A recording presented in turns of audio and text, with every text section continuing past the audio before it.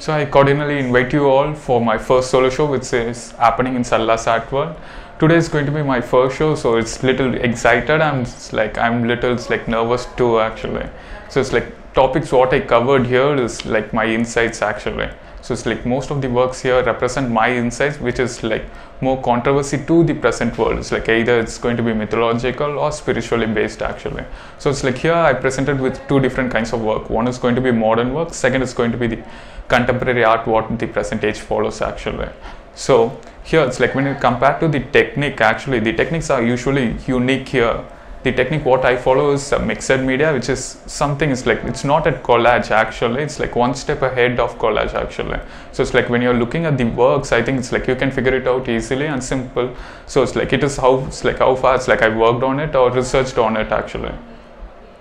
This painting is one of my favorite piece actually. So it's like this is like six by six feet actually. So it's like I never did it's like did or experiment in this big size actually. This is going to be my first six by six plus the experiment which I did is like uh, I've researched a lot and lot actually before starting these works. It's like I took most of the times like spending on the research topic or it's like controversy what the people will actually look at it, how the way technique everything is like. So it's like uh, it took more than three months for me to complete this works actually. But the, when you compare to the output or the research work, it's like now it's like I'm a little satisfied with the output actually. So I believe these works actually say about the Adam and Eve actually. But when you compare to the topics or the actual works, it's like people always focus on the characters actually.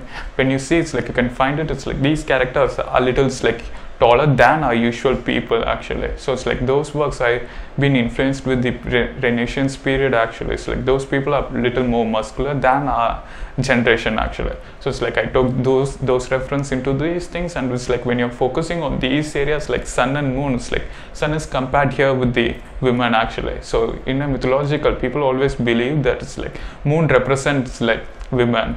But here it's like in the ancient period people believe that sun is the women god actually. And moon are represent with the it's like male actually. It's not with their characters but maybe because of the features actually rather than the character.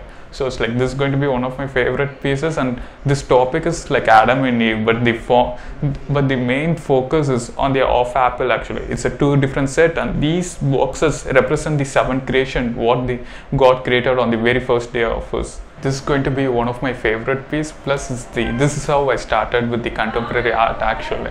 So this is my first contemporary works which i did when i was since like more than two to three years actually. So this topic is based on the time actually. So when we speak about time or something it's like people always believe it's like a lifespan is totally it's like of 100 years or something. But it's like this piece tells you that it's like a lifespan of a man or a woman. It's going to be only 24 hours actually once the 24 hours is like being done or something. It's like people are what it happens like you get an another chance of 24 hours. So it's like my concept is like every man has only 24 hours of his lifespan. So it is a, it works on a circle where once the 24 hours is done the second set of 24 hours is given to you. So that's the painting what here it reflects on. Here it's like every four series i did a four series and this is one among them. And every series has a monkey plus a character actually. So monkey represents the human brain rather than this like monkey actually here so just to represent the characteristics of the brain it's like i mentioned into a monkey rather than the it's like character here.